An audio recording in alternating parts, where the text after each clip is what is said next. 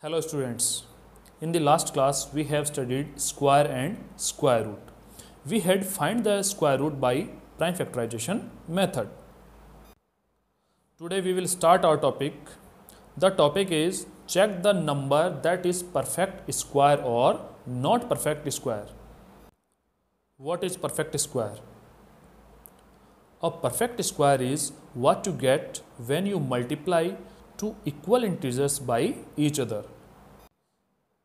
We can say in easy language a number is square of any number it is called perfect square number. Like 25 is a perfect square because you are multiply two equal integers 5 and 5 we get 25 okay we will understand with the help of uh, examples.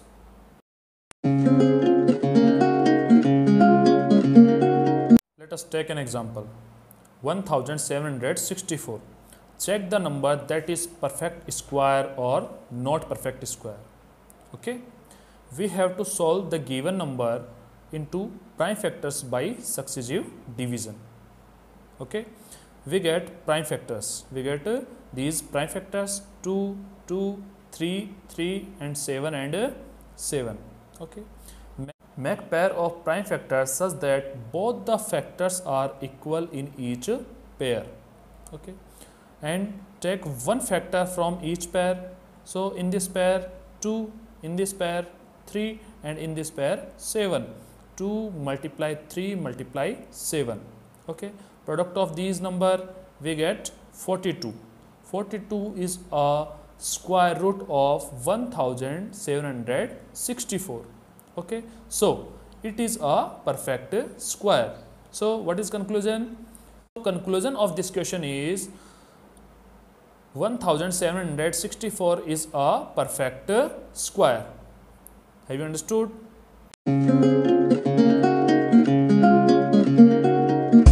let's take in one more example. Check the number that is perfect square or not perfect square by prime factorization method.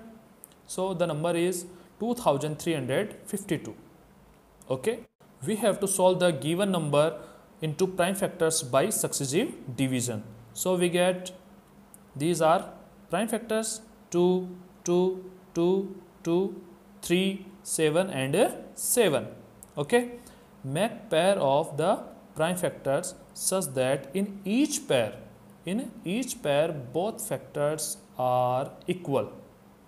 Okay? Both factors are equal in this pair 2 and 2 equal in this pair 2 and 2 equal and in this pair 7 and 7 uh, equal. Got it? Now move on next step. Take one factor from each pair. Take one factor from each pair. So 2 in this pair and 2 in this pair and 7 in this pair. The prime factor 3 has no pair. So, it is not a perfect square. So, 2352 is not a perfect square. I hope have you understood every step of this question. Okay. Thank you.